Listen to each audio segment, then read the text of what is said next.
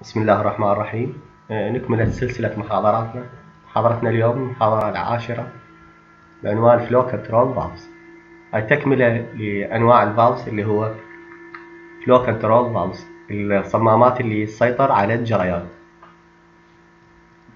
Learning objectives هي الأهداف التعليمية من هذه المحاضرة upon completion of this chapter. The student should be able to explain various functions of flow control valves, explain various classification of pressure control valves, describe the working and construction of various non-compensated flow control valves, differentiate between compensated and non-compensated flow control valves, identify the graphic symbols for various types of flow control valves, explain different applications of flow control valves, explain the working principles of bleed-off circuits, evaluate the performance of hydraulic system using flow control valves.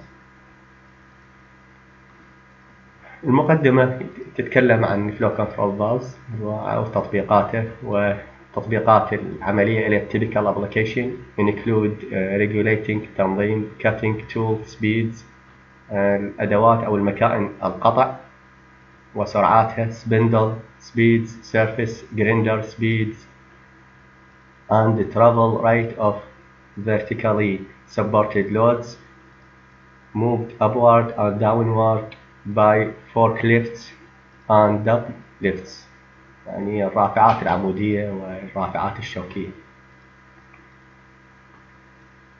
Functions of flow control valves Flow control valves have several functions some of which are listed below يعني وظائف كنترول فالف هي أولا regulate the speed of linear and rotary actuator يعني تنظيم سرعة آه السرعة الخطية والدورانية يعني المشغلات الخطية والمشغلات الدورانية المشغلات الخطية اللي هي مثلا آه السلندرز والدورانية اللي هي الموتورز. ونجد velocity of piston اللي هي ترمز لها في piston meter per second. تساوي flow rate in the actuator meter cube per second divided by piston area meter squared وتساوي Q divided by area piston والوظيفة الثانية regulate the power available to the sub-circuits by controlling the flow to them الباور بالوات equal flow rate in meter cube per second into pressure in newton per meter square اللي هو باسكال يعني البريشر capital letter يرمز لهذا الحرف capital letter تساوي ال Q في pressure small letter P small letter واللي هو ال pressure أو في بعض النسخ pressure يكون حرف ال P ويا ركزة بالأعلى Number 3 proportional divide or regulate the pump flow to various branches of the circuits. يعني يقسم سرعة أو جريان ال pump على عدة أفرع من الدائرة.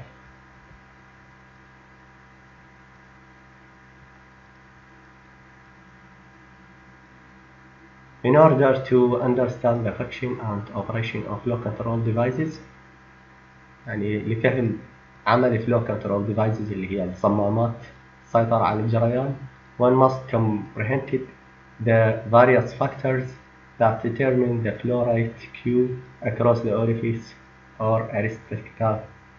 These are given as follows cross-sectional area حتى نفهم قضية الجريان نعتمد على هذه الأمور اللي هي cross-sectional Area of orifice, shape of the orifice, round, square or triangular length of the restriction, pressure difference across the orifice, the pressure, viscosity of the fluid.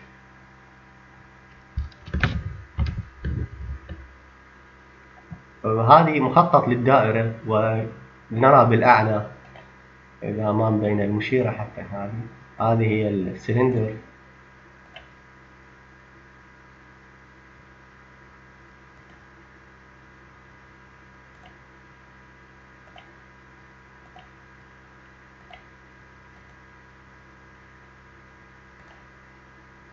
هاي السلندر هي. فهذه هو ال load الحمل. يعني هذا عبارة عن مثلا pulley أو anything else دوراني وهذا ال directional control valve. هذا الرمز يرمز إلى reservoir خزان. وهنا الخزان مو معناه خزان منفصل. ممكن ممكن نفس الخزان. هذا رمز الفلتر. هذا ال pump وال motor هو المحرك لل pump وهذا هو اللي اللي شغلنا هنا عليه اللي هو flow control valve هذا رمزه وهذا variable flow control valves يعني متغير يعني نغير آه، مقدار الجريان عن طريقه. هذا إني عبارة عن مقاييس الضغط رمز مقاييس الضغط. وهذا اللي هو آه، صمام لتقليل الضغط أو صمام للبرشر سيفتي فالف يعني عند ارتفاع الضغط يرجع إلى الخزان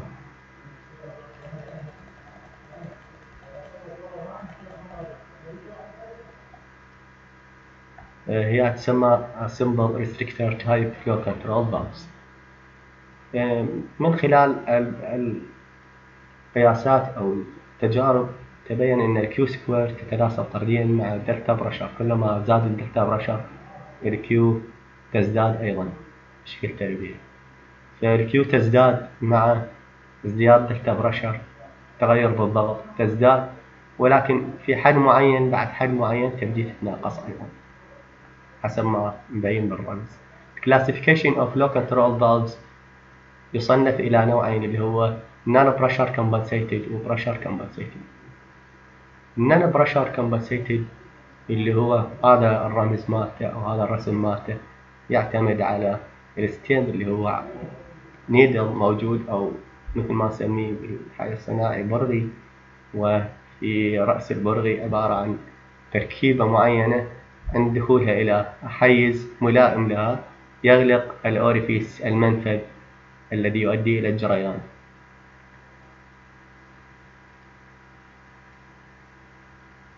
وبحالات الحالات إنه النصف مغلق أو أو مفتوح أو مغلق بالكامل. فهنا مفتح مفتوح بالكامل هنا مغلق بالكامل وهنا. نصف مغلق حسب هذا الرمز الموجود. الحالة الثانية عندما يكون مع آه يكون ال flow control valve an integrated check valve. صمام أمان اللي هو صمام فحص عندما يزداد الضغط في الجانب الأيمن يؤدي آه، التغلب على قوة ال spring الموجودة وإرجاع قسم من من السائل وهذا يؤدي أو الماء وهذا يؤدي إلى توازن بالضغط حتى لا تدمر المنظومة.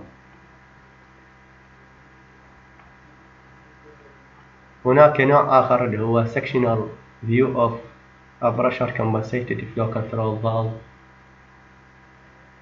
اللي هو يحتوي هاي يكون التركيبة مالته يكون الجريان كما موضح الجريان يأتي من النقطة A ويمر بهذا التجويف يذهب إلى النقطة B مضافة إليه بعض التركيبات الأخرى اللي هي مثلا هذه ال spindle الموجودة. وهاي ال spindle آه، تؤدي إلى توازن الضغط. عندما يكون الضغط أكثر من اللازم يؤدي إلى الضغط هنا على ال composite spring ويؤدي إلى تحريك أو تقليل مقدار الجريان من هنا وإرجاع قسم من السائل عند الدفع إلى من الجانب الآخر إلى الجانب إلى إرجاعه إلى المعكوس لتوازن الضغط ولتقليل مقدار جريان السائل آه، عن طريق ال pump ويوجد أيضا drain line وهذا ال drain line يؤدي إلى آه، إرجاع السائل إلى الريسيرفوار رمز هذا النوع اللي هو compensated flow control valve هو هذا الرمز مالته.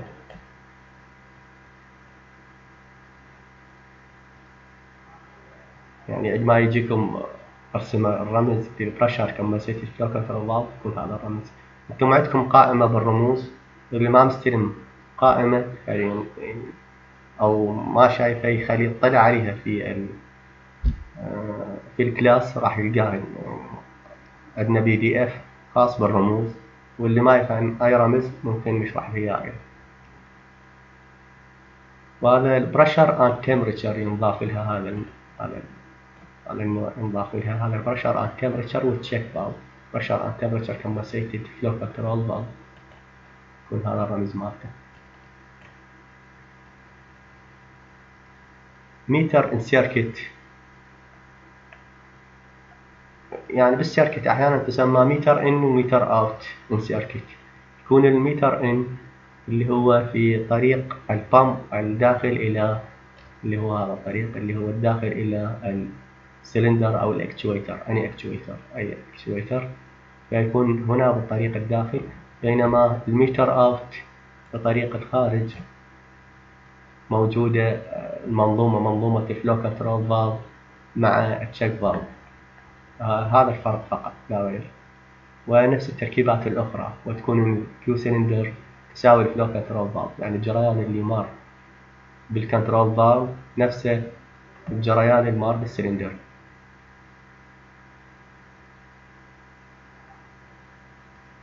وهذا directional control valve اللي هو يوزع أثناء تحريكه يعني. ممكن يؤدي إلى تحريك البستن داخل السلندر من اليمين إلى اليسار أو من اليسار إلى اليمين أو من الأسفل إلى الأعلى أو من الأعلى إلى الأسفل. نتيجة عكس آه، عكس الاتجاهات. يعني اتجاه ما يكون بشكل عمودي إذا تحرك بهذا الاتجاه راح راح يكون القادم إلى ال reservoir والذاهب يذهب إلى السلندر أو بالعكس يؤدي عن طريق الوضع الحالي يؤدي إلى تحريك البستم من جهة اليسار إلى اليمين أو من جهة الأسفل إلى الأعلى أو بالعكس.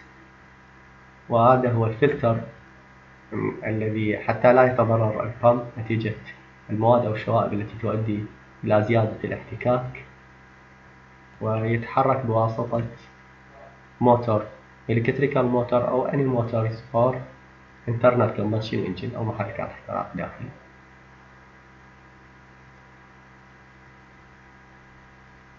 وهذا هو ال pressure relief valve كما أسلفنا اللي هو يعتبر صمام أمان أيضا أو يعتبر صمام أمان للضغط بعد ما يرتفع الضغط يؤدي إلى إرجاع السائل نتيجة قوة ضغط ال pump إلى الخزان تسمى ال meter in circuit هذا الأمر فقط معكوس يكون عند الخارج يعني عندما يكون جريان خارج من السلندر اللي هو هذا الاتجاه.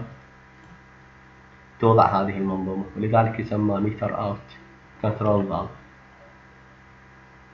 أما ال bleed off circuit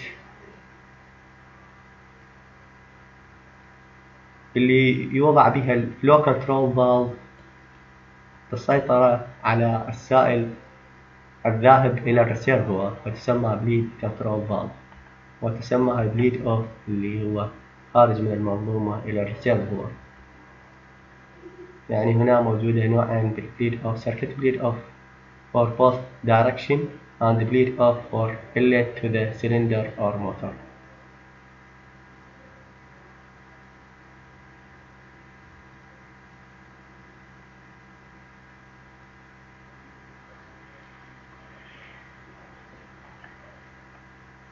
آه نأخذ مثال هذا الأمر example number one a 55 millimeter diameter sharp-edged orifice is placed in a pipeline to measure the flow rate.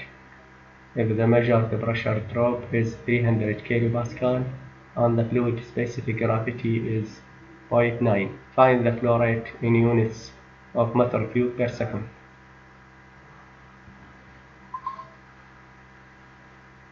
الحل هنا ما مذكور كل شيء موجود بالمحاضرة يعني لأنه ذكرنا فقط علاقة ال Q مع ال delta pressure. آه، من خلال الأمثلة راح تشوفون العلاقات بعد إكمال اشتقاقها أو تراجعونها أيضا عندكم كيف مصدرين تراجعونها. أحد أحد المصادر بمسائل. المطالبين أنه تراجعين تراجعون بعض المسائل لأنه إذا تجيكم أسئلة فتجيكم أما من المحاضرات أو تجيكم من الكتاب المنهجي فهنا ال Q يكون قانونها هو هذا. بالنسبة لل edged orifice بالنسبة لهذه الحالة اللي هي sharp edged orifice واللي هو بها diameter 55 specific gravity موجود أيضا. أعطيكم سبيسيفيك جرافيتي وأعطيكم الدلتا برشر اللي هي 300 كيلو باسكال شي يريد بهذه الحالة يعني اللي هو يقول a 55 diameter sharp edged orifice is placed in a pipeline to measure the flow rate. If the measured pressure drop is 300 kilopascal and the fluid specific gravity is 0.9, find the flow rate in units of meter cubic per second. For a sharp edged orifice we can write ممكننا ممكننا كتابة القانون اللي هو Q يساوي 0.0851 A ال area في CV اللي ماخذينه أنتم بال ماخذينه أيضا موجود عندكم بال thermodynamic موجود عندكم بال heat transfer في ال root delta pressure divided by ال SG اللي هو specific gravity specific gravity معطاك بالسؤال. وال Q اللتر per minute ال specific gravity هي 0.8 for the sharp edge أيضا هاي تحفظونها إذا أعطيت أعطيت. إذا ما اعطيت فأنتم لازم حافظينها. لازم تحفظوها. يعني إذا صارت تحريرية قد تكون مو إلكترونية. إلكترونية ممكن ترجع أنت إلى إلى المصدر مالتك تحاول تشوف الحق لكن أنت إذا صارت الامتحانات تحريرية لابد أن تكون عندكم معرفة مسبقة إنه specific انه CV is the uh, capacity coefficient اللي يساوي 0.8 for the sharp edged orifice C يساوي 0.6 for a square edged orifice هنا sharp إذا أعطاك squared يكون 0.6 area is the area of the orifice opening in millimeter cubed and squared AP is the pressure drop across the orifice in kilopascal And SG is the specific gravity of the following fluid اللي هو equal 0.9 now هي معطاك يعني هذه هاي ما تحفظ لأن هي معطاك في السؤال. يعني هاي إذا ما معطاك بالسؤال تستخدم ك يستخدم رمز مكانها أو تفرغ لأنه لابد أن تكون يعني مو تنحفظ هذه الشغلة مو تنحفظ إلا في حالة يكون معطاك بالسؤال. وممكن نحفظها لبعض السوائل اللي يرغب لذلك لكن غير مطالبين. أنتم بها اللي هي ال area orifice equal π by 4 يعني هاي ال area الدائرية.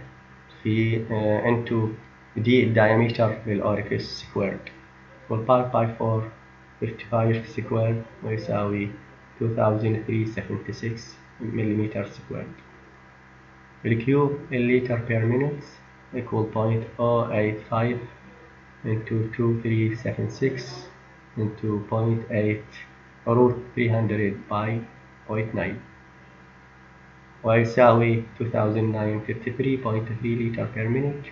ويساوي 0.0492 متر كيوب per second?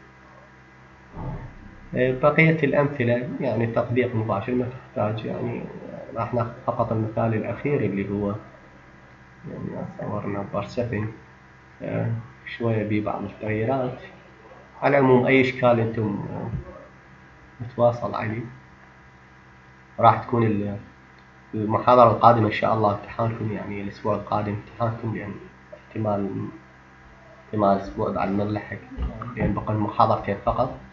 فواحد من الاثنين راح يكون امتحان الشهر الثاني وهو ضروري للسيارات لديكم. ننتقل إلى point 7 بنوع من الأفكار example 1.7 اللي هو المثال السابع A flow control valve is used to control the speed of the actuator as shown in figure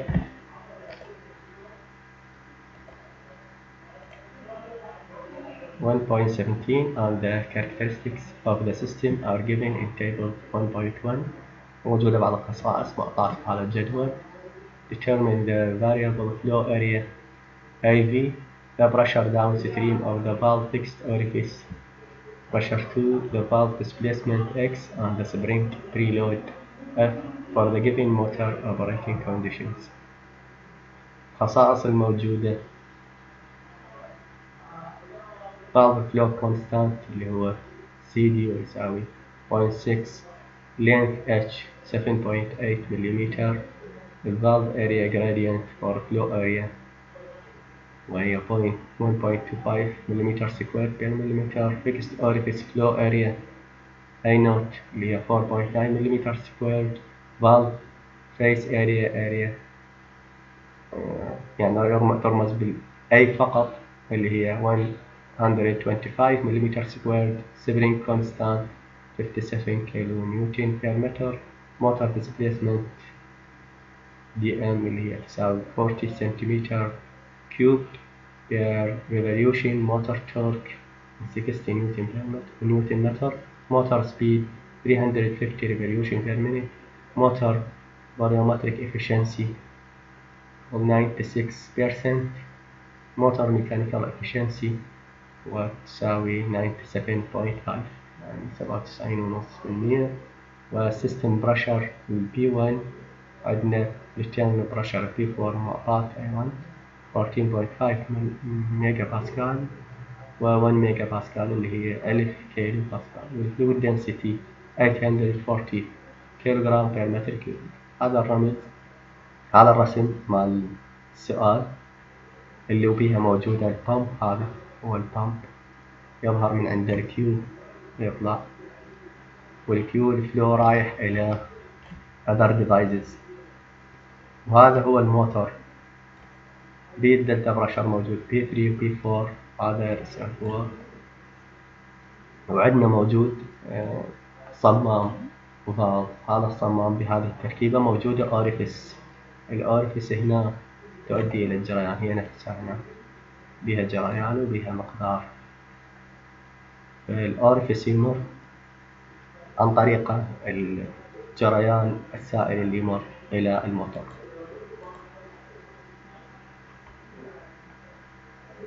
حل refer to figure 117 flow from the pump divides يعني الجريان بالنسبة للقادم من الباب يقسم إلى قسمين قسم يذهب إلى الصمام قسم يذهب إلى other devices. P1 و Q2 the pressure drop P1 P2 ال P1 وينه؟ ال P1 الموجود عند البامب اللي هو هذا وال P2 الموجود عند الصمام.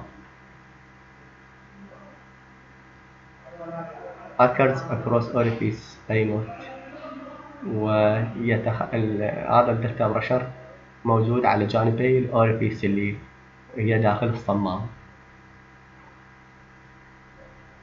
This makes the valve to move to right against the spring force F. The area of orifice AV then adjusts the, uh, to control the flow to the motor. Let us first convert all the given variables to appropriate units. يعني بالبداية حول المتغيرات إلى وحدات ملائمة يعني حول المليمتر إلى متر ما عدا W تكون تبقى بالمليمتر 1.25 divided by 1000 مليمتر و ال H 7.58 هي بالمليمتر فنقسمها على ألف حتى تصير المتر ال A naught 4.9 مليمتر فاصير divided by 1 mega اللي هي يعني الألف تربيع. حتى تتحول إلى ال meter square. ال area 125 آه أيضا divided by 1 mega فتكون مضروبة في 10 أس ناقص 6 meter square. فتكون ال Dm 40 مقسومة على آه 100 تكعيب meter cubic لكل revolution. وال torque 60 نيوتن متر الآن 350 revolution per minute وال rho 840 كيلو جرام per meter cubic pressure 1 145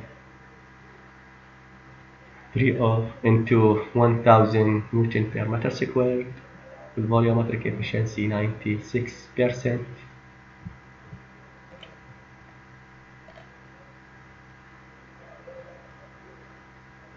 وال mechanical efficiency 97% ال pressure four يكون 1 ميجا باسكال يعني 1000 to 1000 والثيتا 2 to pi into 350 divided by 60 تساوي 36 36.652 radian per second فنبدأ بالبداية في حساب ال discharge اللي هو Q2 through the valve فال Q 2 يكون يعني بصيغة أساسية إنه تساوي ال motor displacement الإزاحة مقسومة على ال revolution هي سبيد يعني ال Q تساوي الإزاحة في ال P وانقسم على ال volumetric efficiency حتى نستخرج ال Q الحقيقية ال actual فيكون الناتج مالتها بعد ال بعد إكمال العملية الحسابية يساوي اثنين أربعة بالعشرة أو 2.431 into 10 to minus 4 meter cubic per second.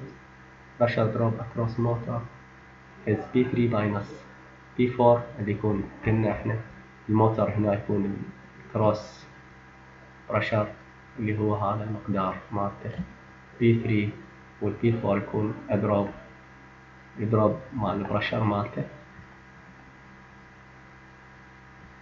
ويساوي التورك divided by flow rate into mechanical efficiency يكون البريشر فري torque divided by 0.97 into 2 pi divided by 4 t divided by 100 cubic meter cubic plus uh, P4 اللي هو إضافة إلى بريشر 4 تنقل على بريشر 3 البريشر 4 موجود اللي هو 1 ميجا هذا فيكون الناتج النهائي 1.072 to 10 to 7 Pascal. Also flow through orifice flow from motor side is given by واسطة هذا القانون اللي هو كيف تساوي سي دي أي نوت root by 2 divided by 84 uh, 840 into delta B اللي هي P2 minus P1 طلعت الكيو عندنا كيو 2 نحصل من عندها على البي 2 الكيو 2 موجودة فنحصل من عندها على البي 2 اللي هي 1.163 into 10 to 7 Pascal. Also, flow through orifice from pump side is given by Q2 equals CD AV uh, root 2 by 840 into delta P 2 to 3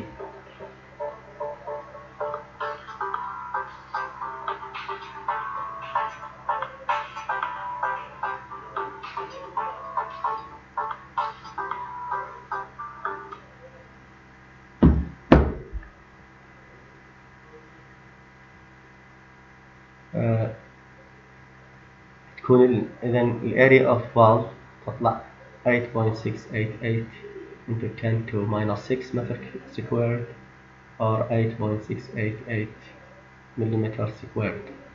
الاي في أيضا؟ هذا قانون الها لهذا السبب إحنا أخذنا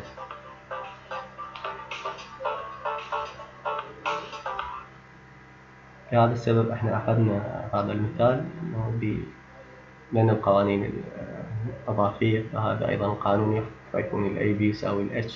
minus X into W ال X يساوي H into W minus IV divided by W ويساوي 8.499 into 10 to minus 4 meter. Now let us write the force balance و ال balance مال ال force اللي هو توازن القوى اللي ماخذين أنتم ب static وال dynamic أيضا. فيكون ال pressure 1 في ال area يساوي pressure 2 في ال area plus KX اللي هي قوة ال spring زائد ان F القوة اللي تتعرض لها المعاكسة. أيضا قانونها بالنسبة لهذا النوع ثابت.